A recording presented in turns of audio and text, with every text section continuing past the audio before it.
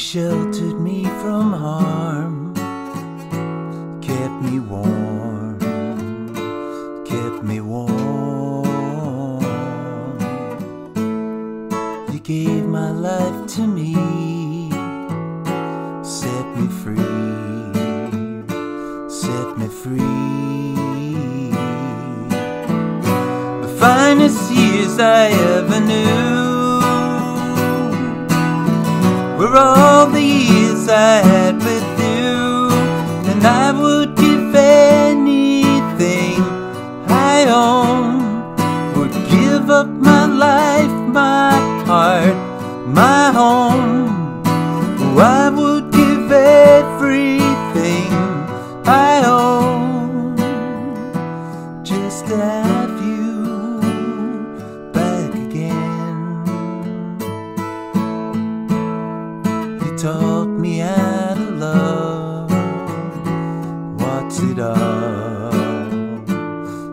It up?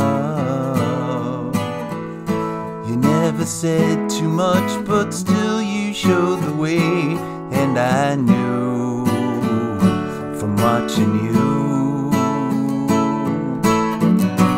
Nobody else could ever know the part of me that can't let go. And I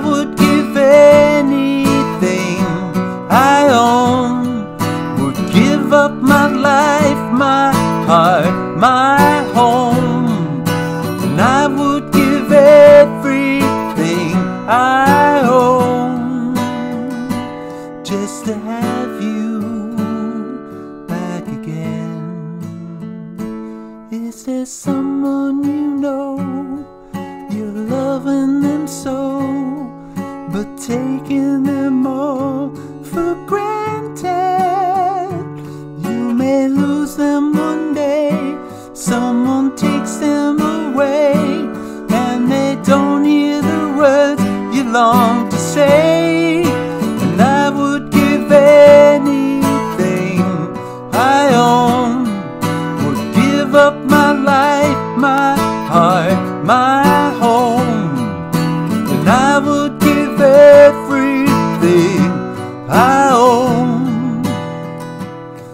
to have you back again.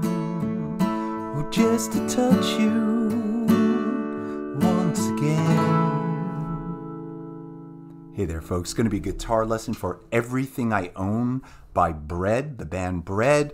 I don't think I've ever covered a Bread song. I actually um, decided to do this after I saw after I saw one of my great YouTube friends, Beatles Girl, uh, post a lesson to this. She does the vocals on this, and it's just wonderful. And it just reminded me of this song, and I just heard the acoustic guitar, and I decided this would be a great one to learn and teach. So it's Everything I Own by Bread. This goes out to Beatles Girl. If you don't know her channel, please check it out. It's wonderful. I'm going to drop a link to her version of this.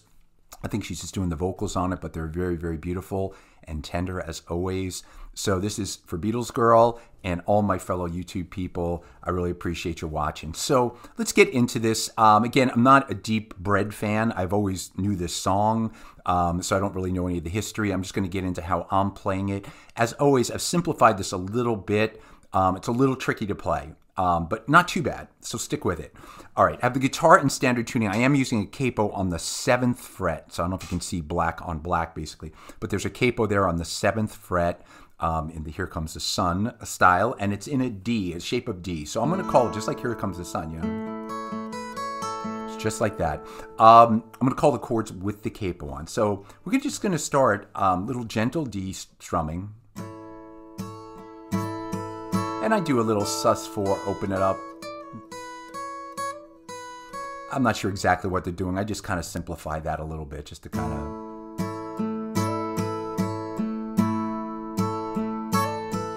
And then we start D. Then it's really a D over C sharp.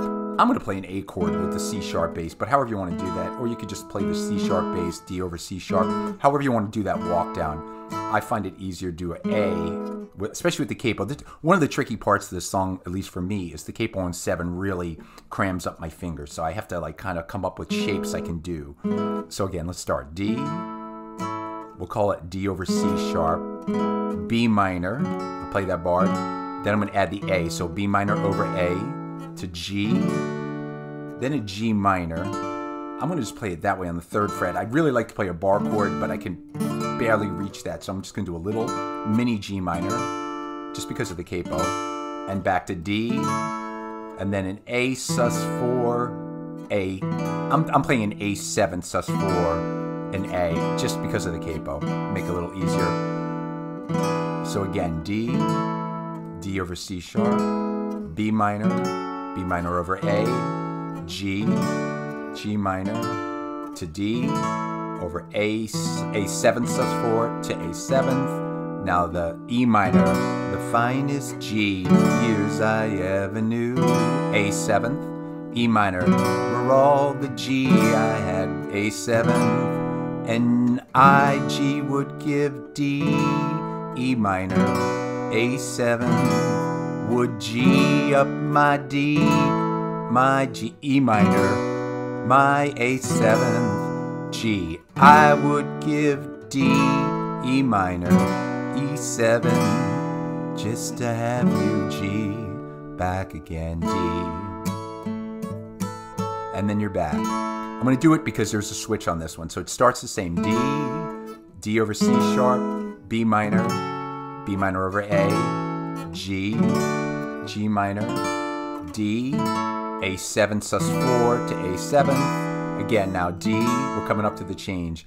D over C sharp, B minor, B minor over A, and I now C, this is a change, C, G, from watching D, U, so that's that little change, C, G, D, I love that they added that. And then you're back E minor to a G, A7, repeat that, E minor, G, A7, and G would give D, E minor, A7, this is repeats, G would give D, E minor, A7, G I would give D, E minor, A7, just a G, back a D. Is there someone you know? This part, um, I'm gonna play a B minor, someone you know, then B minor over A, so then I'm gonna play a B minor over G basically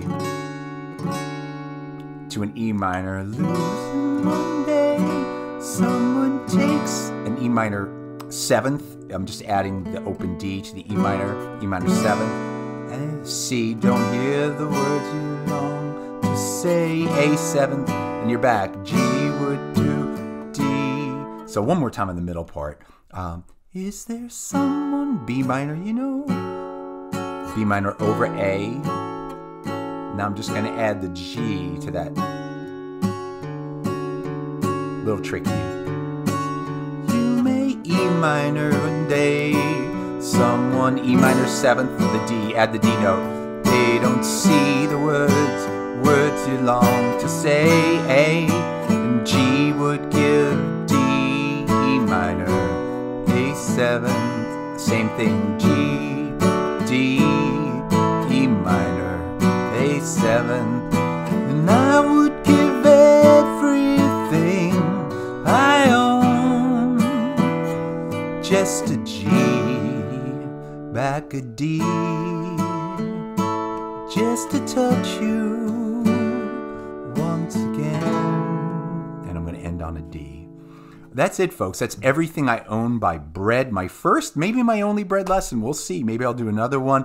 Thank you again to Beatles Girl for reminding me of the beauty of this song. I really appreciate you. Have a great channel. Everybody check it out if you don't already. Uh, thank you all, folks. I'll see you soon, probably with more Beatle related lessons. I'm not sure if Bread is Beatle related, but you know the music, the style. I, I, would say they're definitely influenced, but like I said, I don't know their the band history there. Uh, but it's a great tune no matter what. Um, I'll see you all folks soon with another lesson. Take care.